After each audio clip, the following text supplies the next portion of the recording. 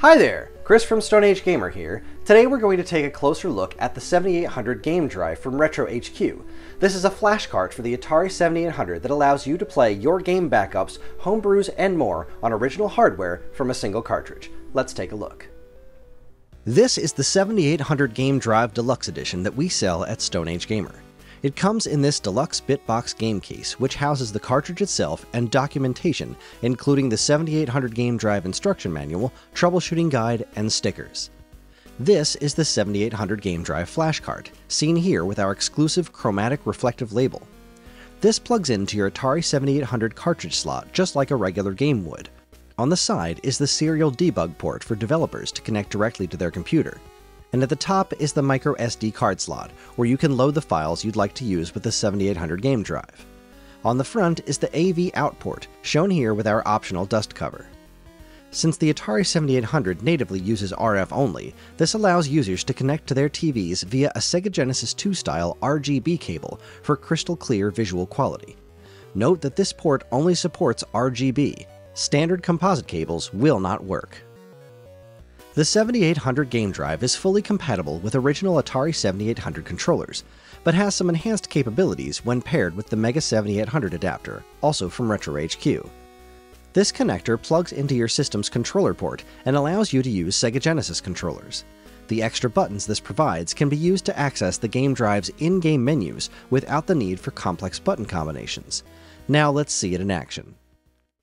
When you first power the unit on, you'll have the option to check for a firmware update. If you're using a Sega Genesis controller, just press Start and scan the QR code that appears on the screen.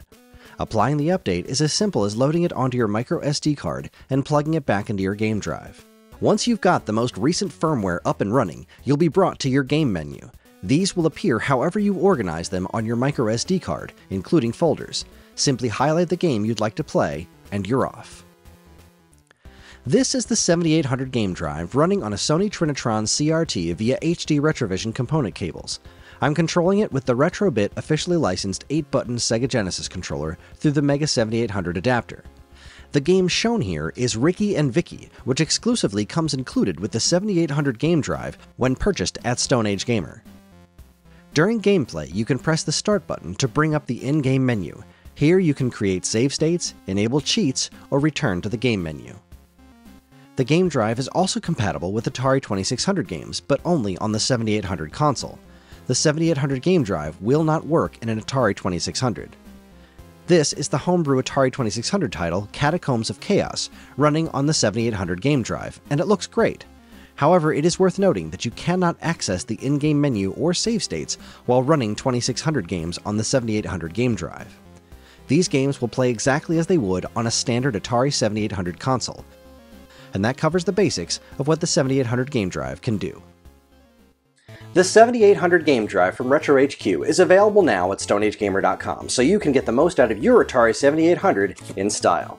Thanks for watching, everyone. If you liked what you saw here today, please follow, comment, like, subscribe, share, and let us know down in the comments what is your favorite Atari 7800 game. Thanks again on behalf of all of us here at Stone Age Gamer. Keep playing games.